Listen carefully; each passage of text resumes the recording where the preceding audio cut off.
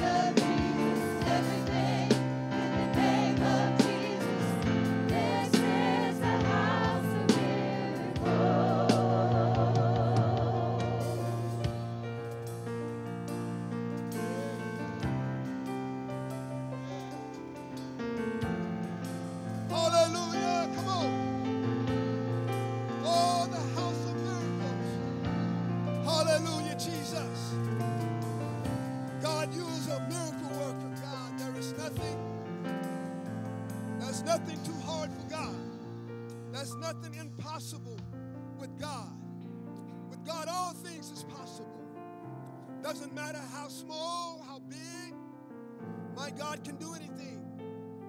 Do you believe it this morning?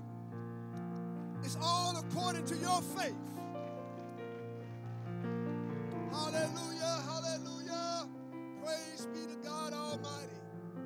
Praise be to God. What an awesome God. What a great God. What a mighty God. Oh God, we need you this morning, God. Praise be the Lord.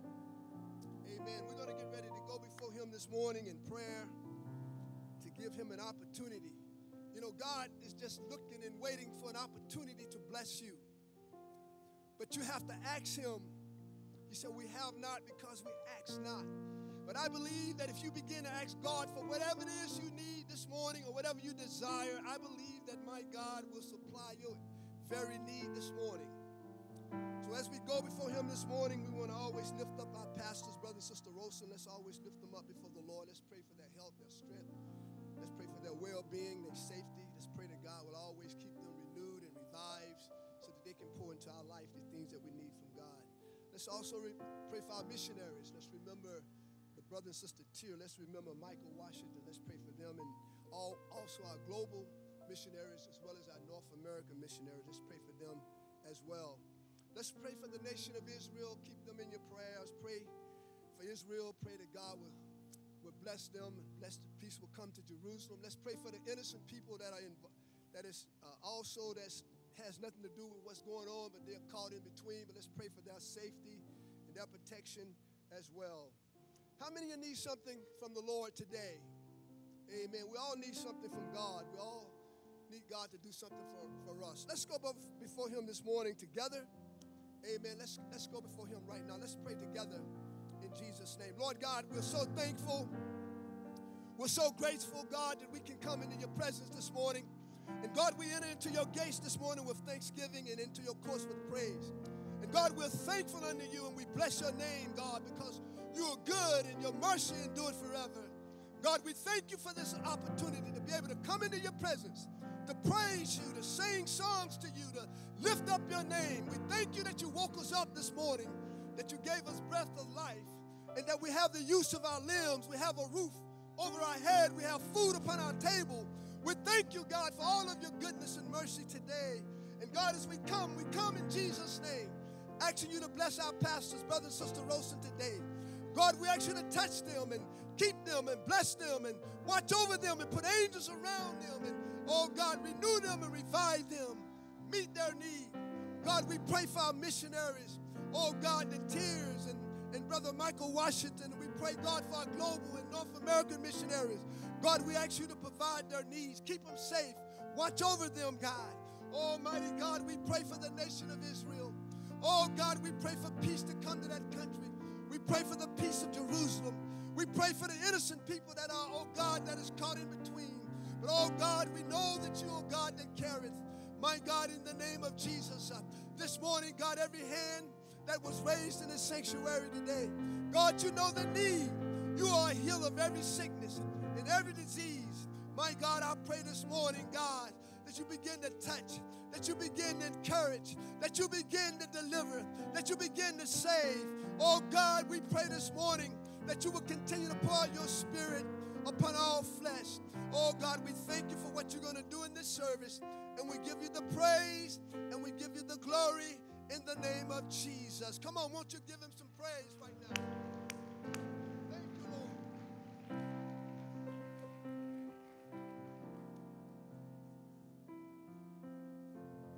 Praise the Lord. You may be seated.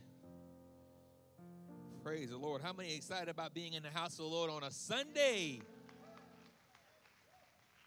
Praise God. We are so glad that you are here. It's already a beautiful spirit we're feeling this morning. Praise God. I'm excited about what's God is what God is going to do this morning on our behalf. Amen. Praise the Lord. I bring you greetings on behalf of our pastors, brother and sister Olson. Can we represent or give an acknowledgement to all of our guests this morning? Thank you so much for for being here. We would love an opportunity to meet and fellowship uh, with you. You know, I don't just say that because it's part of part of my script. We really do want to spend time and meeting you guys. So if you are able to uh, to hang around just a little bit, we do have a guest uh, reception there in the foyer. Uh, I believe they're still doing snacks and drinks and things. Um, we would like to get an opportunity just to uh, be familiar and just to to to, uh, to greet you.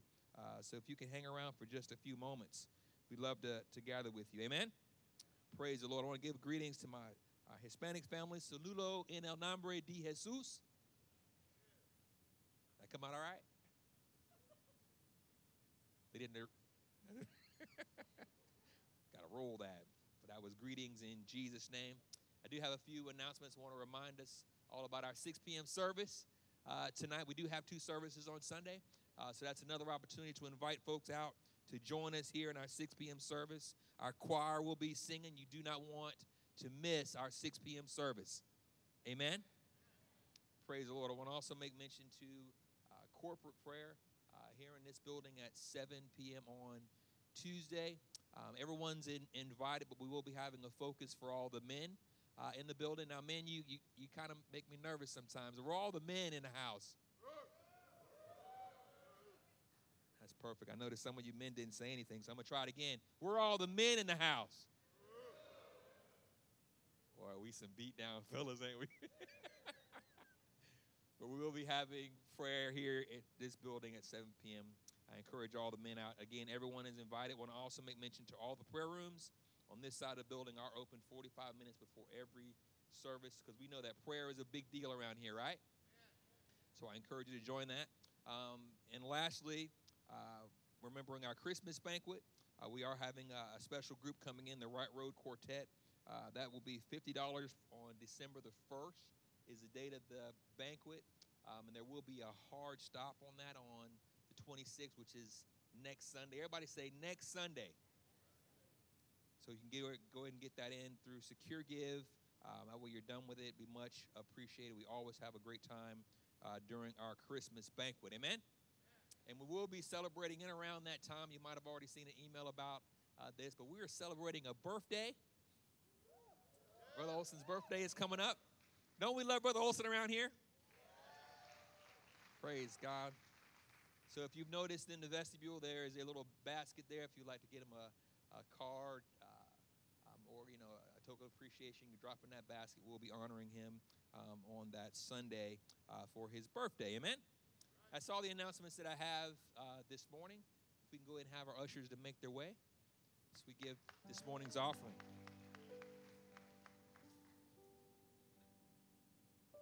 Praise the Lord. Psalms 92 reads, For you, Lord, have made me glad through your work. I will triumph in the works of your hands. O Lord, how great are your works. We serve a good God, don't we? We serve a right on time God, don't we? So, this is that opportunity for all of us to give back a token or a measure to demonstrate uh, some reciprocity of God being good to us. So, let's go before the Lord in prayer, shall we? Lord, in the name of Jesus, we, we thank you for this opportunity to gather in your place this morning. Lord, you've been so faithful in our lives. Lord, you've restored and you repaired, Lord, our homes, our families. Lord God, and this morning, Lord God, as we rejoice in your power, we rejoice in your, your might. You blessed our homes, our families, our jobs, with businesses, our growth with growth and prosperity. Lord, and we absolutely are marveled at your generosity as it's simply overwhelming to us. Lord, as we bring our tithes and offerings to you this morning, Lord, Lord God, let it be, Lord, a demonstration, Lord God, a representation of all the goodness You've displayed in our life. And we thank you for your goodness. We thank you for your mercy. And let our giving be pleasing and acceptable in your sight. In your precious and holy name we pray. In Jesus' name. If God's been tremendous to you, can we just put our hands together one more time as we give? God bless.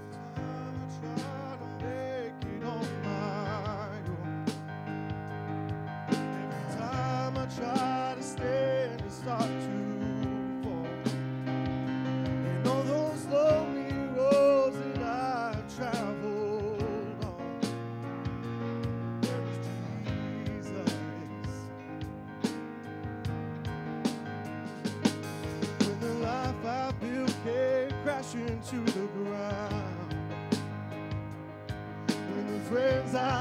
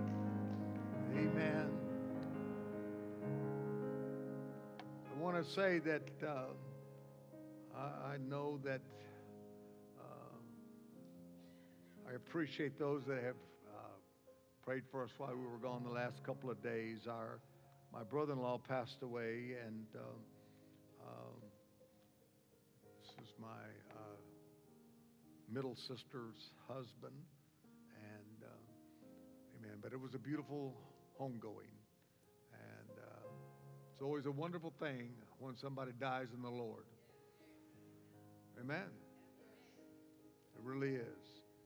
Yes, there's grief, there's sadness, yes, and there's the realization of missing them in the physical form. But it was a really a wonderful time of celebrating his life. And uh, so we are, we're so thankful for all of you that prayed for us. We got home about 11 o'clock last night. So uh, I'm thankful for the Lord and the Holy Ghost today. Amen. And, uh, but it's good to be here this morning. This is Thanksgiving week. And so we ought to pray for all of those that will be traveling, and especially those in our church.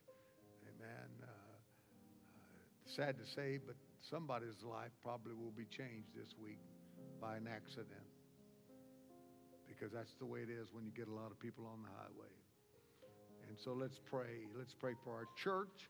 And, um, and we will be having a special uh, night of thanks service Wednesday. Uh, so you'll want to be here for that. Uh, we're going to go to the Word of God today, and uh, we're going to read out of Second uh, Chronicles, the 29th chapter. If you'd like to stand for the reading of the Word of God.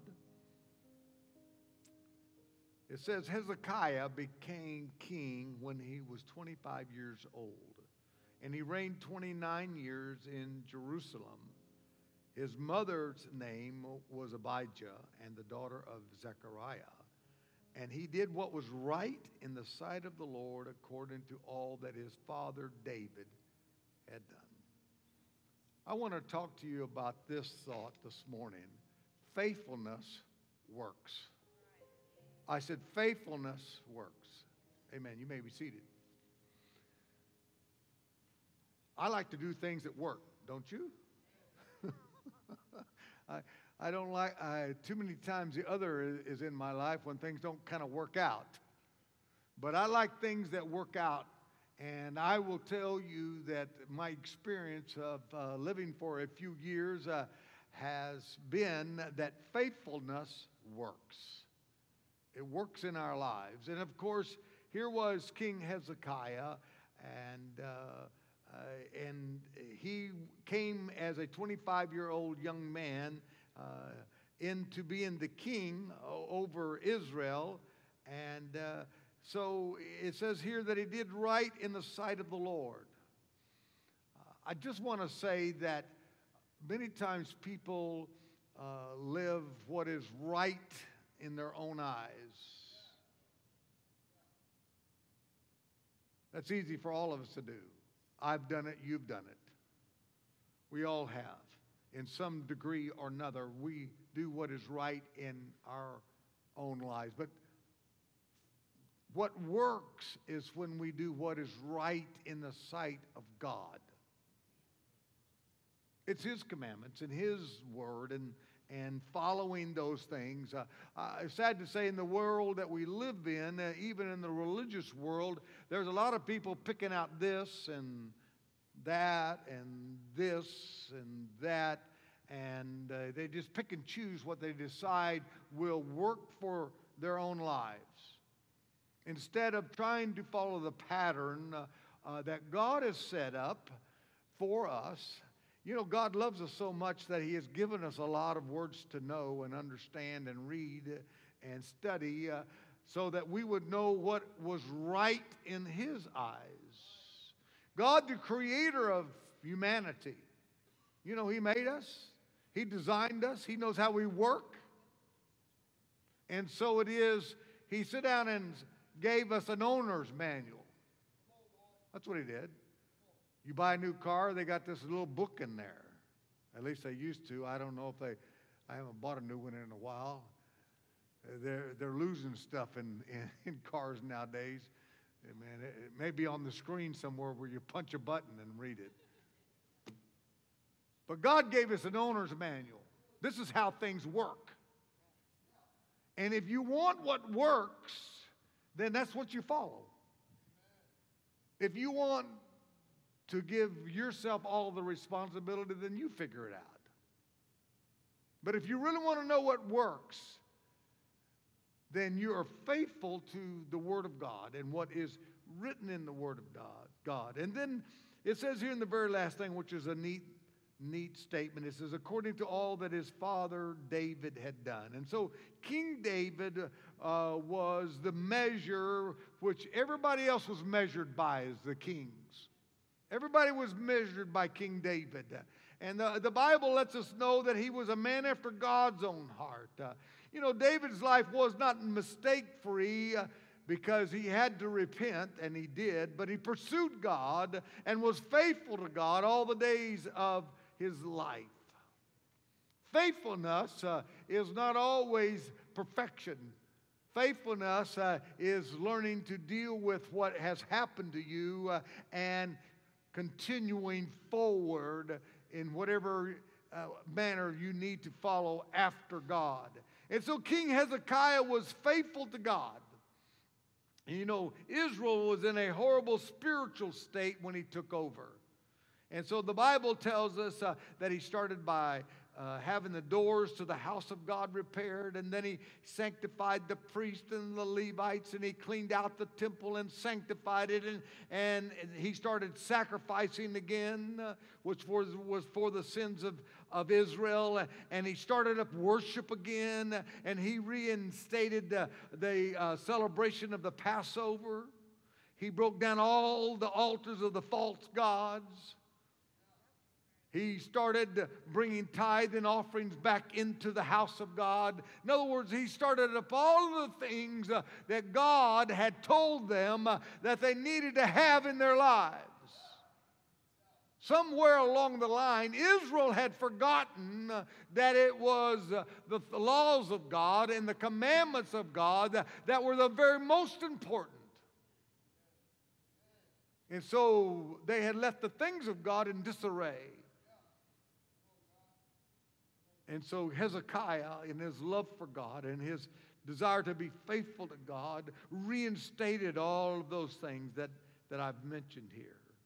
And it says in Second Chronicles 31 and 21, and in every work that he began in the service of the house of God, in the law and in the commandment, to seek his God, he did it with all his heart. And I love this last line, so he prospered. You want to prosper? If you really want to prosper, you know, we think when we use the word uh, prosper, we think of financial things or houses and lands and all that, and that's not really what it's all about. It's part of it, but it's not all of it. The Bible talks about our soul prospering. I'm telling you, what is more important uh, than anything else in this life is that our soul prospers. And so he sought the things of God with all of his heart. He obeyed all the laws and all the commandments of God. You know, there are so many times that people don't like laws or commandments, and they think that that's something that is to be avoided because they want to do what they want to do with their life. But I'm telling you that God put these places, things in as guardrails, as fences to keep us uh, from the destruction that is outside of all of that. You want to know why our world is in the shape that it's in? Because they've got outside the fence, they've got outside the guardrail. They found themselves in a deep canyon somewhere.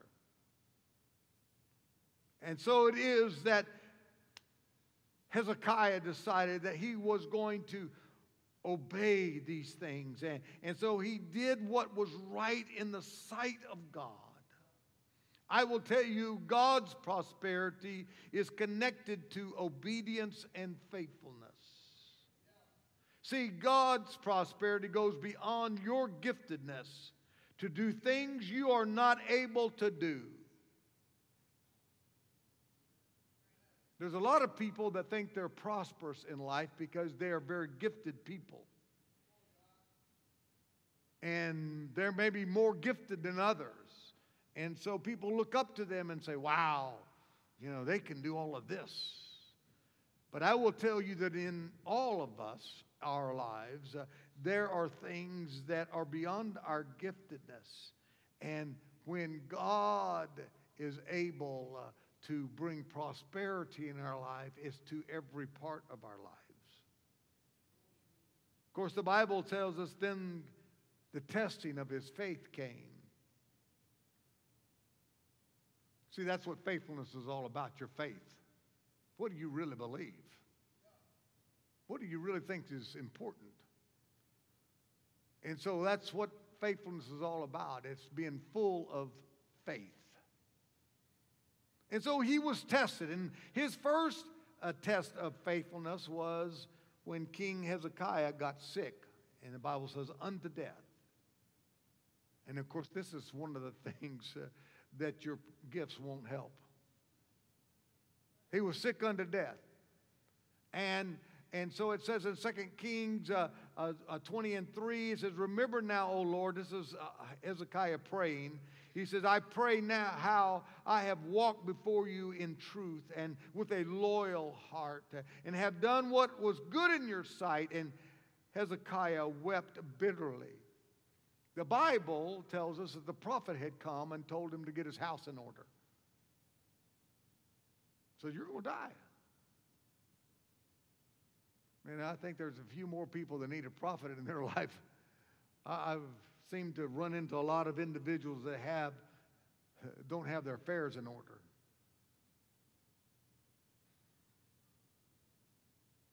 He said, Get your affairs in order, you're going to die. And so the king prays to God and, and reminds God of his faithfulness and how he was loyal and he's done good things in his life.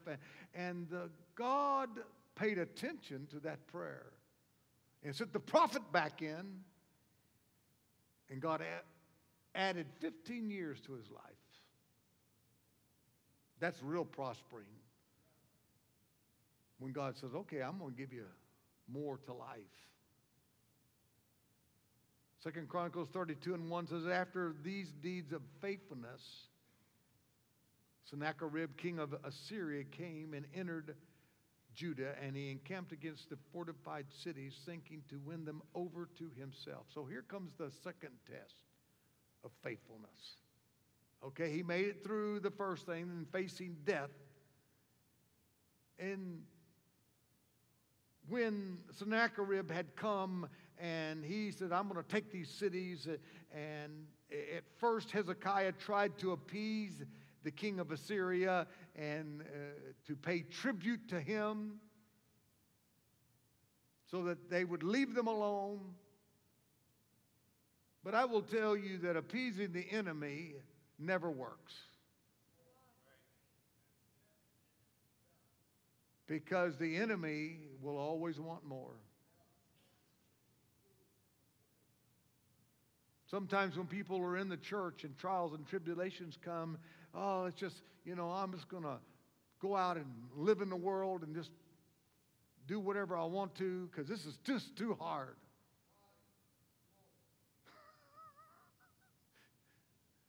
the reason I'm laughing is because they have no idea how hard it's going to become.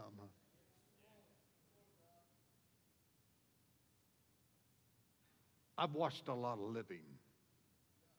I'm not talking about just in my life, but I've watched a lot of living. I've watched a lot of people make dumb decisions about their life. And if you think it's hard living for God, you don't know what it's like to when you walk away. The enemy always wants more. And so the Bible tells us that Sennacherib said, Okay, you quit paying tribute, I'm coming for you. So he came to Jerusalem, and, and but Hezekiah took a, a, a took a stand and he says, I'm going to believe God for the deliverance. And then in the 22nd verse of the 30, uh, 32nd chapter, it says, of, uh, it says that the Lord saved Hezekiah and the inhabitants of Jerusalem from the hand of Sennacherib, the king of Is, uh, Assyria, and from the hand of all others that guided them on every side. Now, there's a big story there, and I don't have time for that story, but, but a lot went on. You ought to read some of this. I love reading the stories of what happened in Israel because it just shows how God's hand was in their lives all the time. There's a lot of story between there when I this first uh, the first part of this chapter to the end of this chapter. There's a lot of stuff that happened, but I'm telling you, they stood strong. They believed God. They were faithful. When it looked like that all was lost, Hezekiah stood faithful. And because of that, God delivered him from the hand of the king of Assyria. And then the third test of faithfulness that he faced, it says in the 23rd and 25th verses of that uh, Second Chronicles 32, it says, And many brought gifts to the Lord at Jerusalem and presented to the king of Judah so that he was exalted in the sight of all the nations thereafter. But Hezekiah did not repay according to the favor shown him, for his heart was lifted up. Therefore, wrath was looming over him and over Judah and Jerusalem. Now, I'm going to tell you what I've watched and observed in life is prosperity is the biggest test that you probably face. Because what happens when prosperity comes, all these people brought gifts to the king, to Hezekiah, and, and, he had all this, and the Bible says he did not repay. What that means is he did not give honor to God. He didn't say, okay, God, you're the one that's made all this happen. He was saying, man, look at me.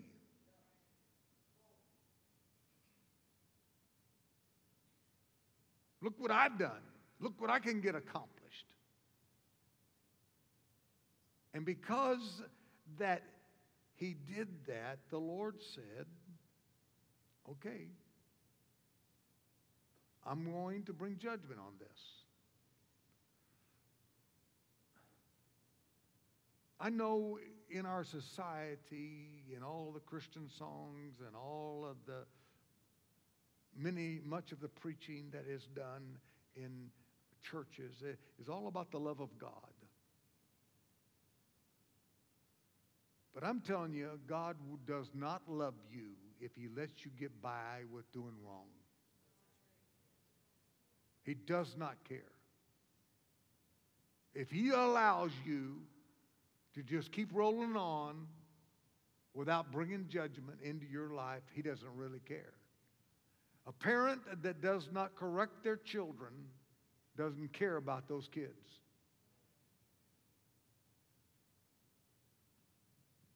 And so, yes, God does love us.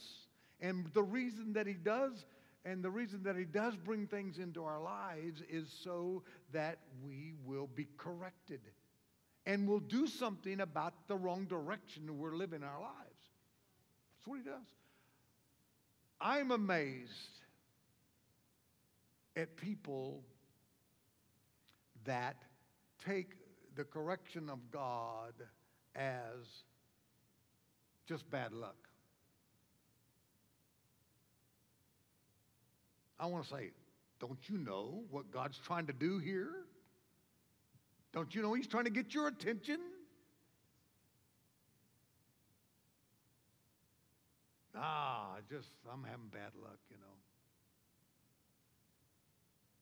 And they dismiss that, and so they never get the benefit of what God's trying to do. what he's trying to do in their lives. They don't understand. And so instead of being corrected, they just keep going the way they're going. They just keep doing what they're doing. Which doesn't end up well for them. And so here he was. He, he failed to give God glory for his prosperity. And it tells us that his pride that he showed all of the possessions to the son of the king of Babylon. Hey, come in here, look at mine. Woo, look at this. Look how great this is. Look at all these gifts I've got. And God, in His love, said, Okay, you show him all this stuff, the king of Babylon's going to take all this stuff. Sometimes the best thing God can do for us is take all, all the stuff we're uh, proud about.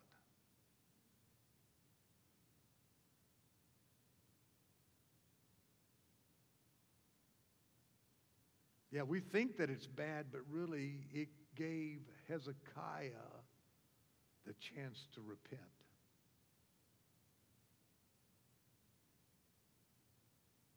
You know, if you don't know you're doing wrong,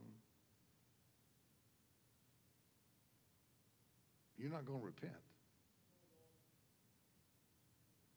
And repentance is the love of God giving us an opportunity to make a course correction so that we can start going the right way instead of the wrong way.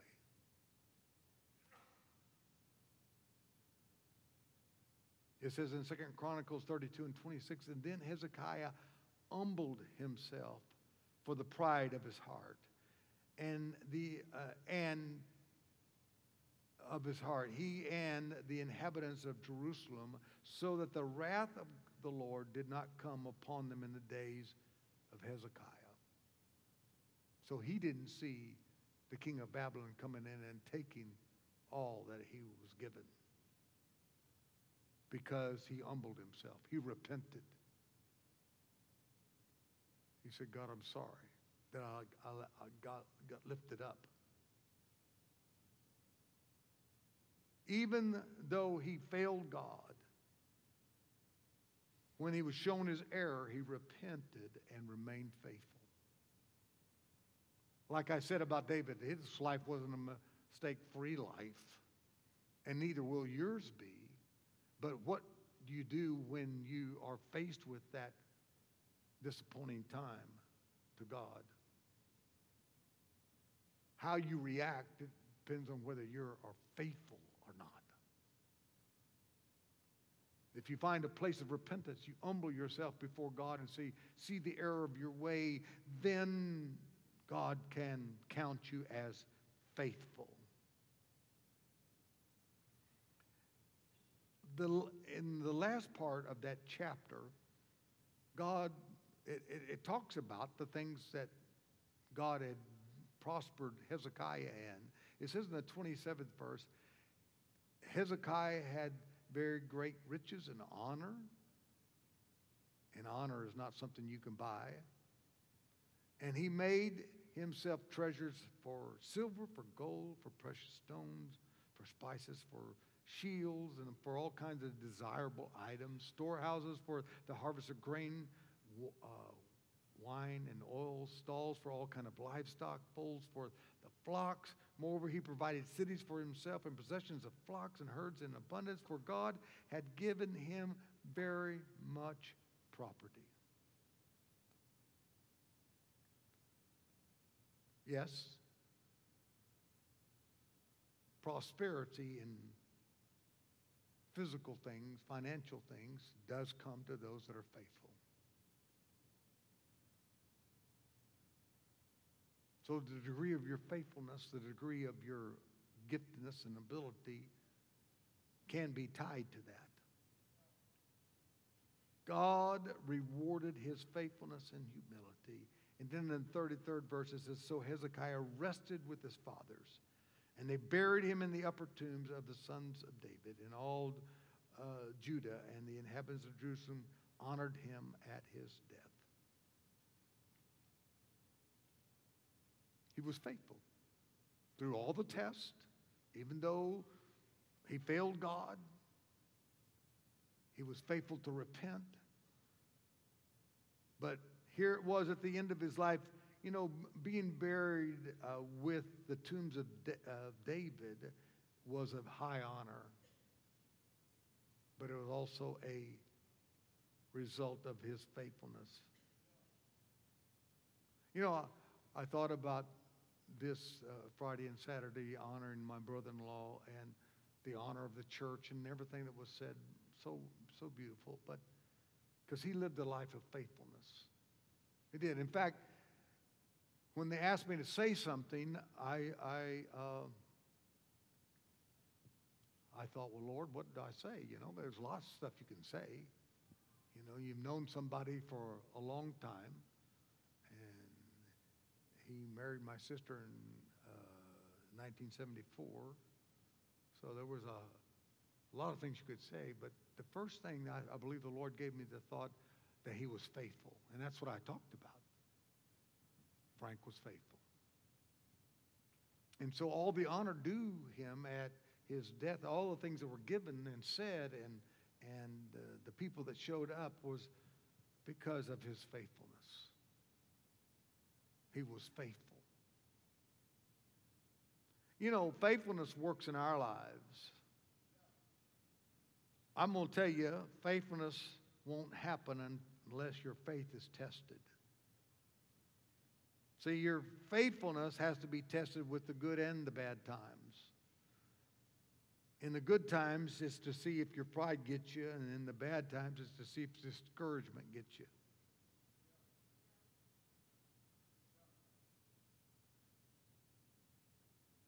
Faithfulness is not having a perfect record, but faithfulness is not giving up no matter what happens, is staying that full of faith. That's what faithfulness is. Day in, day out. Being there, doing what God asks you to do. Do you know that relationship with God is personal? Do you know that? Do you know that He asks things of you that He may not ask of somebody else? Because it's just you and Him. And so we must be faithful to what God asks us of us and what He gives us and, and the stuff that He has written down for us. It says in Deuteronomy 7 and 9, it says, Therefore know that the Lord your God, He is God and the faithful God who keeps covenant and mercy for thousands uh, generations with those who love Him and keep His commandments. I think there's a few people that have braced the last line. But God's faithfulness depends on our faithfulness. That's what it says. It says if we keep his covenant and his keep his commandments and then he will be merciful to us for thousands of generations.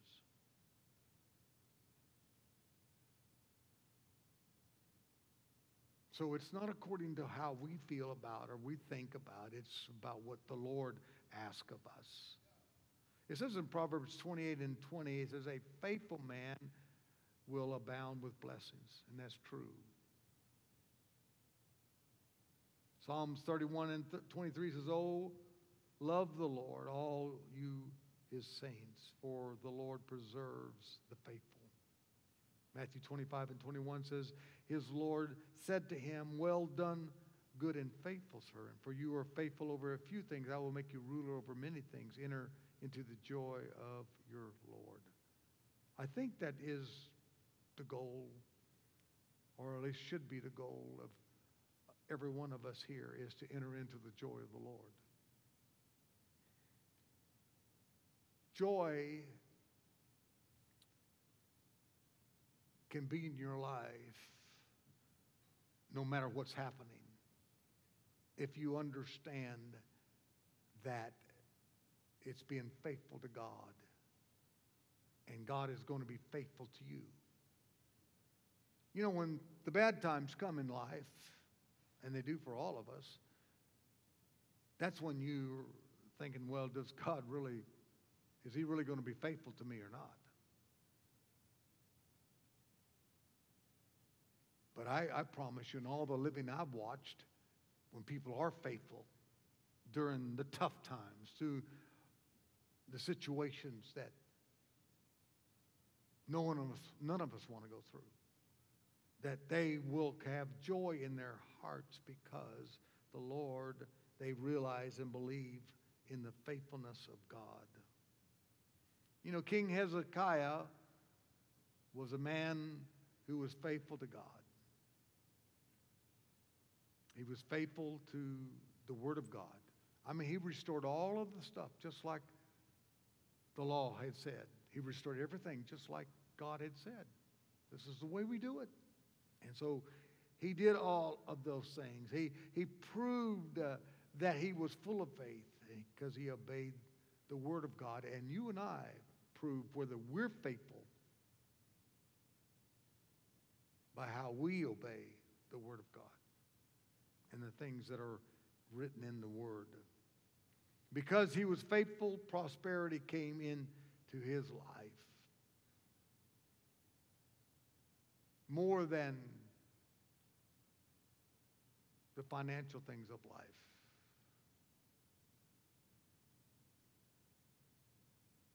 His soul was prospering.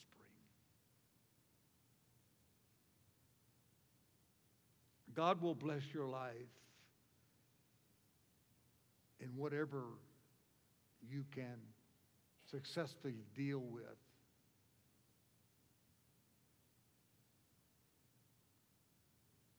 Not everybody can deal with things being having prosperity in their life. Not everybody can deal with that.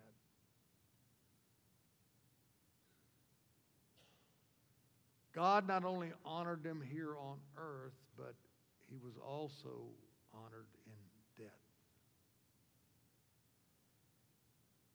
Faithfulness will work.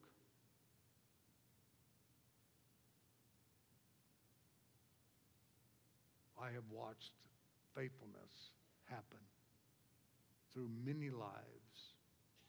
And I'm telling you, faithfulness will work. If you will simply follow the pattern of being full of faith, and that faith leads you to obedience. If you do that, God will work in your life. You don't have to have a perfect life, you don't have to have a perfect record, but you do need to humble yourself when it's time to humble yourself. All the promises of faithfulness are open to us if we'll simply just be faithful. Had an interesting conversation with a young man. Well, he's not so young anymore because I'm not so young anymore, but uh, with a man in uh, the church in uh, Houston that came into the church, uh, and uh, and I was privileged to pastor him for a, a period of time. He had went through Mike Wallace is his name, and uh, he had gone through quite a few things in his life. He uh, his first wife passed away suddenly, and that was a traumatic thing. He had a massive heart attack and should have died and he went through that. And he told me something. He was talking to somebody one day. He said, You know, he said, The Lord has blessed me with uh, two good wives. My first wife and the wife that I'm now married to. He's been married quite a few years now. And he said, You know, they said to me, Well, I can't even find one good wife. And you've had two good ones.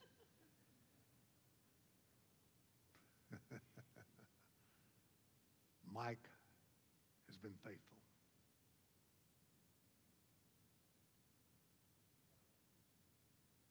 I've watched his life over these many years. He's been faithful. Faithful to God, loyal to his pastor, always doing whatever he could. And I thought to myself, that's kind of a what I'm talking about here. Things that your giftedness can't supply.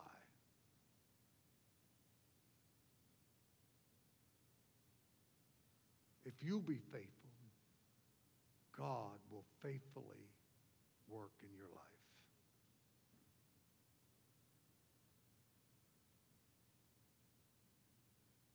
I kind of like the things God provides.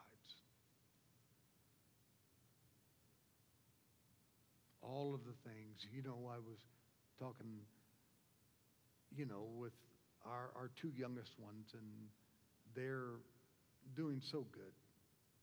Really surprises me that God is moving in their lives in the way that He is and things He's done. And and I'm like every other parent, you know. My kids are the best, you know. But it, I just think about that, that blessing in my life. Was it easy at 50, in my 50s, to have two new babies? And no, wasn't all that easy, but, you know, if you're faithful to God, God will be faithful to you. And I'm thankful to the Lord of his faithfulness. And I'm thankful that somewhere along the line, probably through the teaching of my parents, that I learned about being faithful to God. I wouldn't trade my life. There's been ups and there's been downs, but I wouldn't trade it for anything else than being faithful to God. Let's stand today.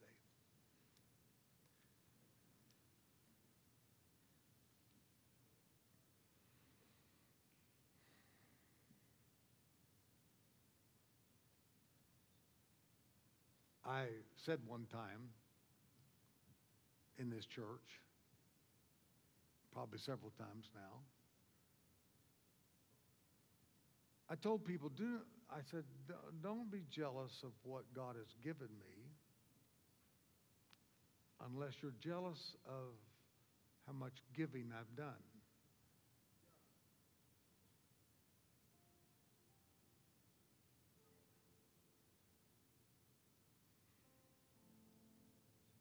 Yeah, because it does correlate. When you give God everything in your life and you're generous with God and the people of God, God is going to be faithful to be generous to you.